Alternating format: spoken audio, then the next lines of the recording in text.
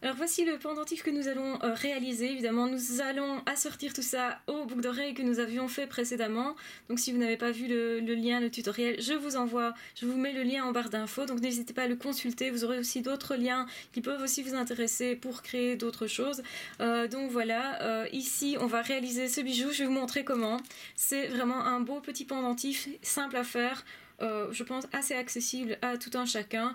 En tout cas, je vais vous montrer comment on fait ça et c'est une technique que vous pourrez aussi réaliser avec d'autres types de perles.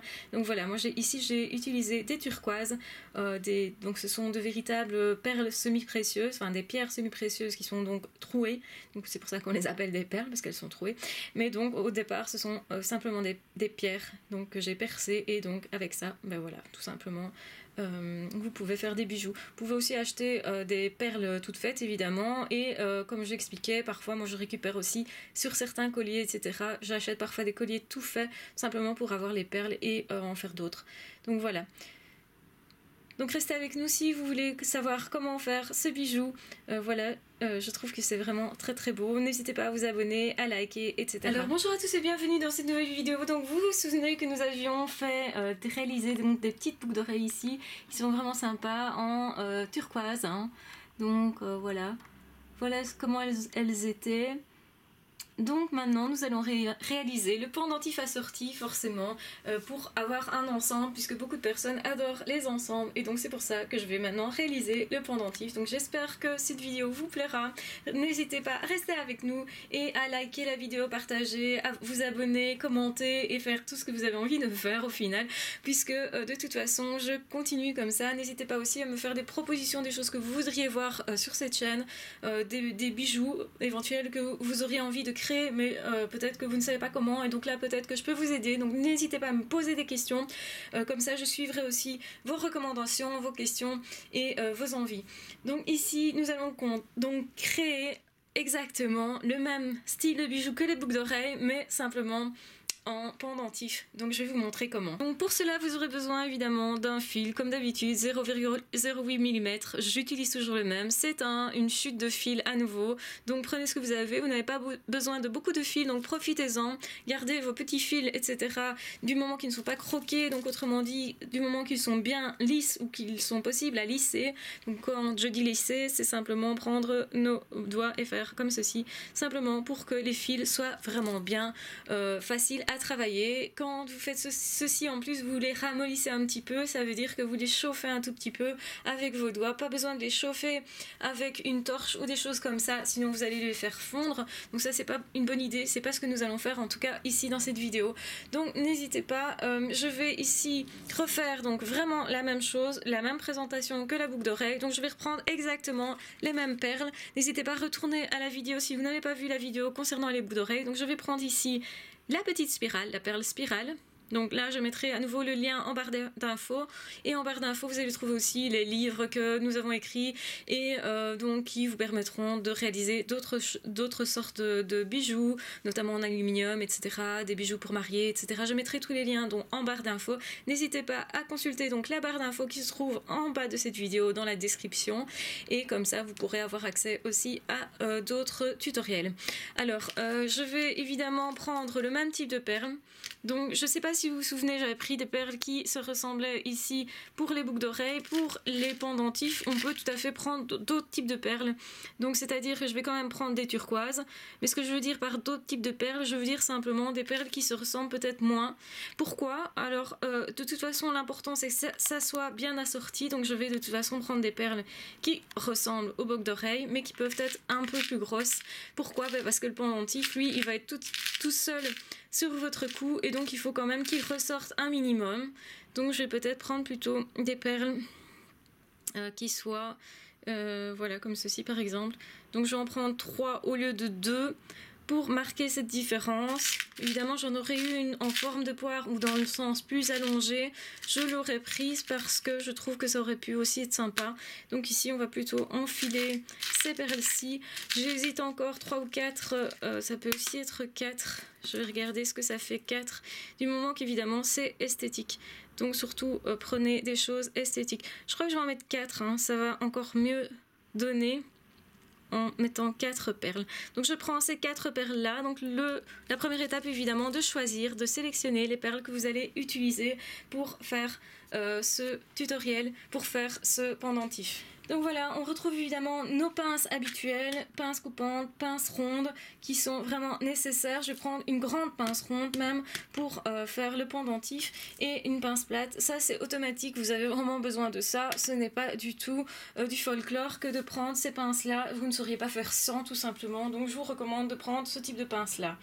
Euh, donc chaque fois vous allez utiliser les mêmes types de pinces. Donc je répète, hein, je me répète un petit peu si vous avez vu les autres vidéos. Mais c'est vraiment important de disposer de ce type de pince parce que chaque fois, elles vont vous être utiles pour fabriquer des bijoux. Donc voilà. Alors, la première chose, la première étape, je vais faire exactement si vous avez vu euh, l'autre euh, tutoriel concernant donc un petit bijou que j'avais fait qui est celui-ci, hein, donc qui est un autre pendentif. Euh, je vais en fait reprendre plus ou moins la même manière de faire pour vous montrer que vraiment les perles n'y changent pas grand-chose. Euh, évidemment, on va s'adapter en fonction du type de perles, mais vous pouvez toujours utiliser les mêmes techniques, les reproduire, et quel que soit le type de perles que vous utilisez, quel que soit le bijou. Les bijoux peuvent être très différents, mais avec les bases qui sont en fait les mêmes, les techniques qui sont en fait les mêmes. Alors, donc ici, ce que nous allons faire, ça va être beaucoup plus simple, simplement que, euh, que le précédent que je viens de vous montrer au niveau du pendentif. Je vais commencer par faire une petite œillère, donc exactement comme j'ai fait pour les boucles d'oreilles. Donc n'hésitez pas à reprendre le tutoriel pour boucles d'oreilles. J'ai fait la petite œillère et on recommence de la même manière. On fait le petit, le petit rond, hop, voilà. Petit rond, petit rond, où es-tu? Le petit, La petite œillère, voilà je vais redresser mon fil. Vous vous souvenez que j'avais fait ça déjà. Donc je vais un peu plus vite forcément. J'espère que je ne vais pas trop vite pour vous. Sinon, n'hésitez pas à reconsulter l'autre vidéo. Je pense que cette technique est déjà plus ou moins acquise puisque nous l'avons déjà vue. Et voilà, tout simplement, je viens donc de faire une œillère. Un, oui, une, une œillère ou un œillère, je ne sais pas, une œillère je pense, sur un fil, tout simplement, de 0,08 mm. Donc prenez un fil assez souple pour vous permettre de travailler facilement, pas trop souple non plus pour ne pas qu'il se déforme. Donc ça c'est euh, en fonction de ce que vous disposez. Généralement c'est vendu euh, dans les, les boutiques euh, de fabrication de bijoux et tout ça. On vous vend des fils adéquats. Ne prenez pas n'importe quoi comme fil parce que c'est pas toujours non plus une bonne idée. Maintenant si vous avez d'autres fils sous la main vous pouvez toujours essayer. Ça pourrait très bien fonctionner avec d'autres fils. Donc voilà. Alors ici, euh, on va refermer forcément, hein. donc on va prendre la pince plate comme d'habitude et on referme notre petit œillère. Notre petit œillet plutôt. voilà, hop. Alors je lisse le fil, je lisse le fil pour parce que je vais enfiler mes perles, donc je vais lisser mon fil, euh, voilà, tout simplement. Donc on est à ce stade. Hop. Et je vais commencer par mettre les perles donc que j'avais sélectionné, c'est important de les avoir déjà sélectionnés et je vais les mettre un petit peu... Euh, ça peut être aléatoire, mais ici j'ai quand même plus ou moins sélectionné celles que je trouvais plus jolies, en tout cas ensemble, pour voir un effet un peu domino comme ça. Euh, enfin, ce que j'appelle domino. Euh, donc, c'est-à-dire qu'on va avoir comme ça des... Vous voyez, ça va se mettre comme ceci. Donc c'est des perles un peu plus grosses que ce que j'ai pris pour les boucles d'oreilles. Hein. Elles sont plus longues. Je ne sais pas si vous avez vu. Comme ce sont des pierres, forcément, elles vont être toutes différentes.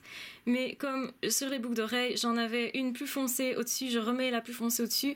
Et les plus marbrées étaient en dessous. Donc la, marbrée était en dessous. Donc je vais faire exactement la même chose. Deux plus marbrées en dessous et deux plus foncées au-dessus. Et la deuxième, euh, la dernière, pardon, est carrée. Enfin plus carrée.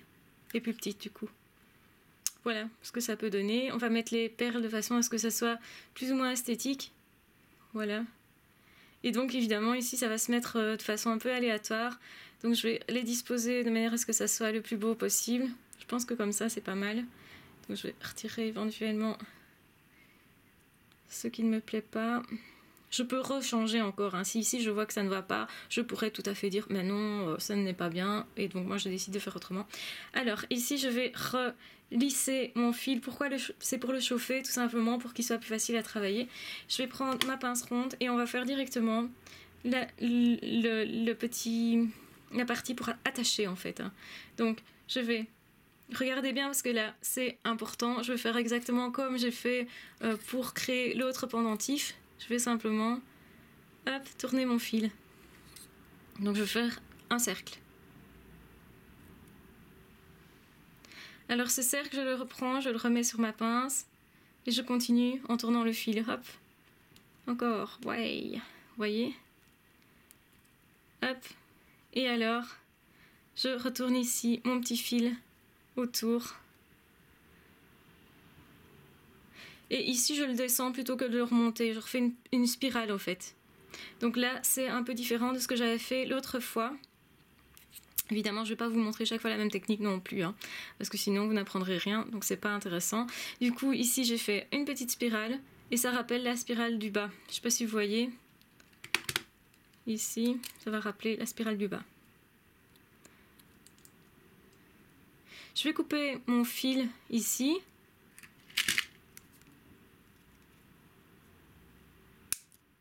fais évidemment attention de ne pas couper plus loin que ce qu'il ne faut, sinon évidemment pour attacher après votre pendentif ça va être compliqué. Hein. Si vous n'avez plus de, de ici et si vous coupez vos deux ronds ici, ça pose problème. Donc les cercles ici doivent bien rester et alors je vais essayer de les redresser en fait pour vraiment l'avoir dans le prolongement. Pardon, je suis hors caméra en fait. Donc là, je regarde un petit peu ce que ça donne sur le cou de madame ici. Hein, donc on rappelle que le petit euh, présentoir n'est pas du tout à la taille normale, hein. c'est un, présentoir plus pour, euh, mettre dans une, euh, une, vitrine en fait. Donc là c'est pas tout à fait la même taille que ce que vous aurez sur vous, mais donc ici vous voyez par rapport à mes doigts, effectivement il y a quand même une petite petite longueur sans que ça soit excessif. Hein. donc voilà. Alors ce que je vais faire, c'est simplement avec ma pince plate, je vais aller réécraser un petit peu l'ensemble. Pourquoi? Pour que ça soit plus régulier, tout simplement. Donc j'expliquais que le soin est important quand on fait des bijoux. Je pense que le soin est capital même. Et donc ici, je reprends un petit peu pour que ça soit plutôt esthétique. Alors évidemment, on voit que c'est artisanal, mais c'est quand même vachement joli. Je sais pas si vous voyez.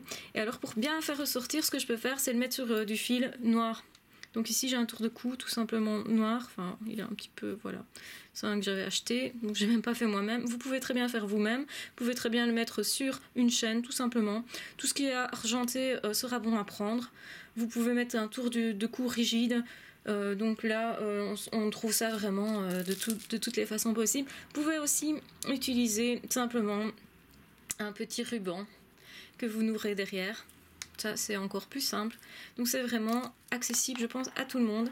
Et on va voir ceci comme résultat, ce qui va être plutôt très sympa. Je sais pas si vous voyez bien là. Voyez comment ça se présente.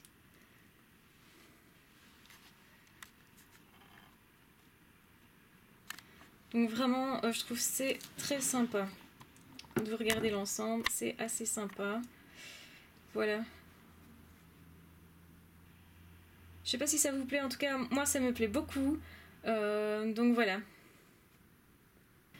Donc ce bijou est maintenant terminé, vous avez un ensemble qui est remarquable, je pense qu'il sera remarqué aussi. Alors c'est vraiment sympa, vous voyez que c'est vraiment très bien assorti, il suffit de réutiliser les mêmes perles pour faire quelque chose assorti. Je recommande toujours de faire un pendentif plus long que les boucles d'oreilles, même si vous pourriez faire euh, la même longueur. Je trouve quand même que c'est plus esthétique de faire un petit peu plus long, un petit peu plus grand au niveau des perles aussi, d'utiliser des perles qui seront plus grandes. Et vous voyez que ici elles se marient tout à fait bien, euh, même si elles ont des formes un peu biscornues et tout ça, on peut très bien utiliser des, perles qui sont biscornues, qui ne sont pas peut-être au départ on se dit mais comment je vais utiliser ces perles là et puis en fait en les mettant l'un l'une derrière l'autre ça forme un ensemble qui est vraiment joli, qui est esthétique. Donc ça évidemment euh, je pense que vous avez tous un sens de l'esthétique qui peut se développer. Donc c'est quelque chose qui s'apprend. N'hésitez pas donc à essayer à faire des essais, à sortir différentes perles. une fois que vous aurez trouvé les perles que vous voulez mettre sur le pendentif, ça va se faire tout seul. Donc utilisez la technique que je viens de vous expliquer euh, et de toute façon vous obtiendrez un résultat similaire. Donc n'hésitez pas à me poster des commentaires si vous avez, vous avez des soucis quelque part. Je peux réexpliquer certaines étapes si euh, il y a des choses qui n'ont pas été comprises. N'hésitez pas non plus à me proposer euh, des choses à réaliser, des bijoux à réaliser. Si vous avez des soucis quelque part, moi je peux certainement trouver des solutions pour que vous puissiez créer ce que vous désirez. Donc euh, j'espère que cette vidéo vous aura plu. En tout cas, moi j'ai beaucoup aimé ce bijou. Euh, je pense qu'il va faire tout son charme sur une, avec une robe noire ou quelque chose de plutôt sobre. Donc voyez que ça donne vraiment très bien sur un fond noir. Donc n'hésitez pas à partager la vidéo, à commenter, à liker. Et comme d'habitude, on se retrouve très vite dans d'autres vidéos. Je vous rappelle que toutes les semaines, je posterai une vidéo bijoux. À très bientôt